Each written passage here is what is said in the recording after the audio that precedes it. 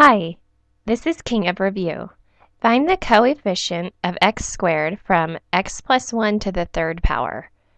So if we expand x plus 1 to the third power, we get x plus 1 times x plus 1 times x plus 1. Let's first multiply out this section here. If we multiply that out using FOIL, we get x squared plus 2x plus 1.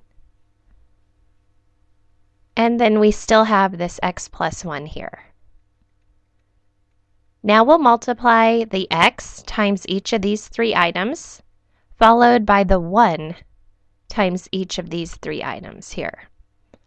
So when we multiply this out, we get x to the third plus 2x squared plus x and now multiplying by 1 for each of these items, we get x squared plus 2x plus 1.